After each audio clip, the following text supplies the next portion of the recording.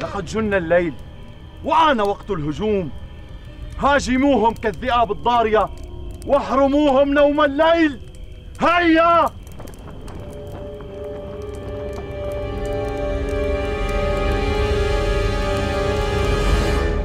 ماذا وراءك يا ابن مقصود؟ فرسان عرب يهاجموننا في الليل والنهار حتى أنهكونا وأكثروا فينا القتل والجراح. لن يردعني شرذمة عما عزمت. فما الرأي يا مولاي؟ جرهم إلى معركة. واكمنوا لهم. وائتني بسادتهم. أسرع أمر مولاي.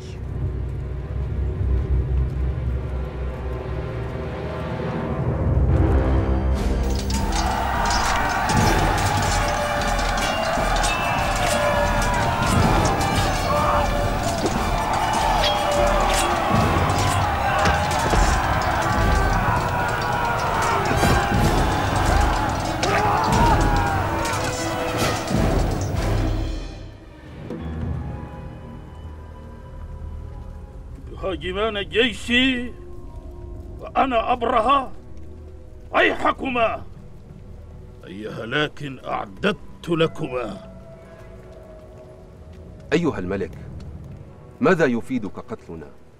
استبقنا فقد نفيده. ويحك كيف تقاتلني؟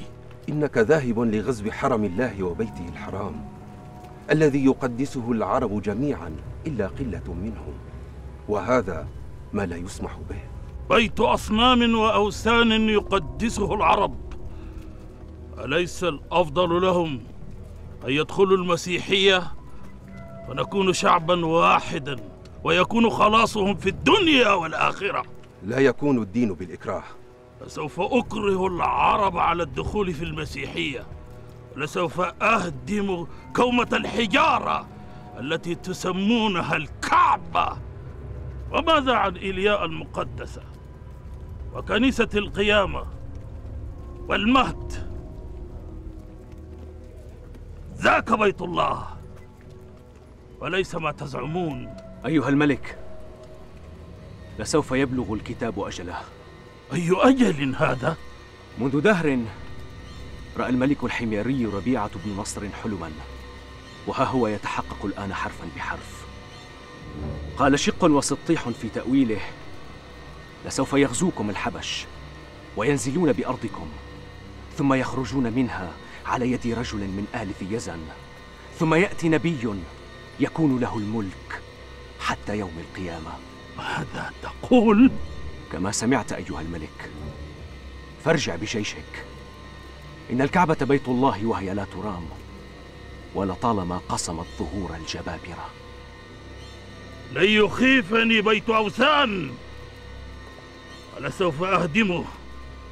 وسترون بأم أعينكم. كيف أنه لن يحدث لي شيء. خذوهما. خذوهما هكذا مقيدين إلى أن أصل مكة فأرى رأيي فيهما. ما هي أخبار عبد الله وآمنة يا هالة؟ إنهما بخير لكنها في أشهر الحمل الأخيرة. يا بركة كوني مع آمنة. فإني وهبتك لها ولعبد الله. يا عيني ما أسعدني. إنهما أحب الخلق إلي. يا لبركة حدثيني يا هالة. هل آمنة متعبة من حملها؟ حدثتني بأمر غريب. قالت لي بأنها حلمت بأن نورا قد خرج منها. أضاء لها قصور الشام والعراق. تالله إنها لرؤيا. انتبهوا لها وأعدوا ركائبكم فإن هذا الطاغية يبغي بنا شرا مستطيرا. أبي أنا أتركه يغزونا.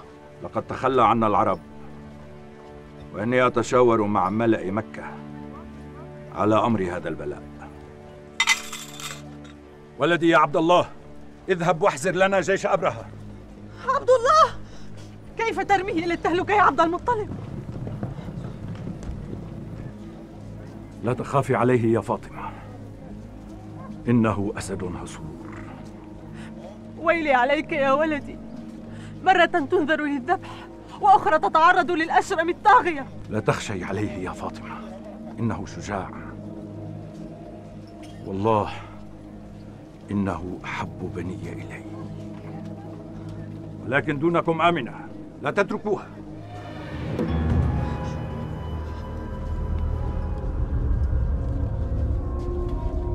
أنا حناط الحميري قائد جيش الملك أبرهة. وماذا تريد يا حناطة؟ الملك يقول إنه لم يأتي إلى هنا لحربكم بل أتى لهدم هذا البيت. فإن لم تتعرضوا له بحرب فلا حاجة له بدمائكم. ونحن لا نريد حربا وما لنا به من طاقة. هذا بيت الله الحرام وبيت خليله إبراهيم. فإن يمنعه فهو بيته وحرمه. وإن يخلي بينه وبين بيته فوالله ما لنا دفع له. إذا تعال معي. فالملك يطلبك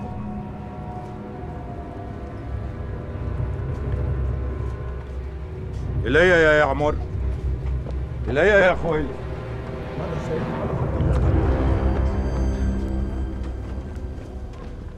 كم مرة من السنين على غزو الأحباش لليمن؟ لقد غزوها أكثر من مرة.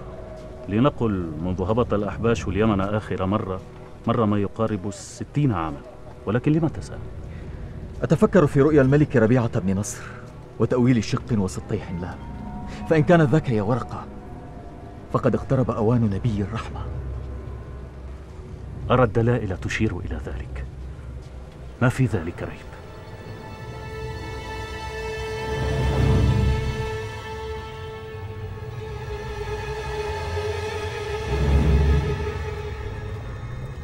اجلس يا سيد مكة إنما بعثت في إثركم لأخبركم بأنني لم آتي لغزوكم بل أتيت لهدم بيت أصنامكم ولا حاجة لي في حربكم. ونحن لا طاقة لنا بحربك ولكن جندك ساقوا أنعامنا وعيرنا ومعظمها نذور لرب الكعبة فردها علينا إذا كنت كما قلت لم تأتي لغزو. قد كنت ملأت عيني حينما رأيتك ولكنك نقصت. حينما طلبت الأنعام والإبل ولم تطلب مني ألا أهدم بيت أصنامكم. نعطيك ثلث أرزاق تهامة وتمورها على أن تعود عنا أيها الملك.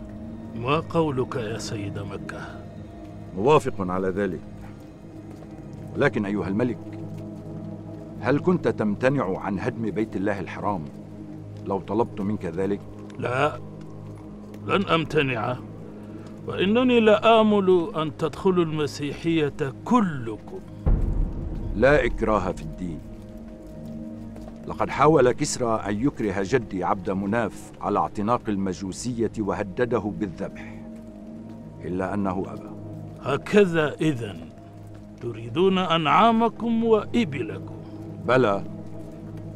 أنا رب الإبل.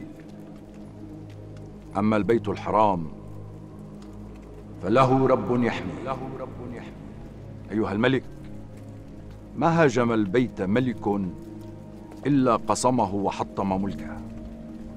إني أنصح لك لا تفعل. ألا تكونوا تبعا لي وتبقون سادة على قبائلكم وتصيرون كما صارت حمير واليمن قريش وكنان لقاح. لا تملك ولا تملك. ونحن لا نتبع ملك ولا نكون مع ملك على آخر. نحن جيران بيت الله المقدس وسدنته. فما لنا وللملك. والملك حرب وقتل وقتال وسبي ذراري وفجور. عفنا أيها الملك. لا شأن لنا بهذا الأمر. أعيد لسيد مكة أنعامه وإبله. بوركت أيها الملك.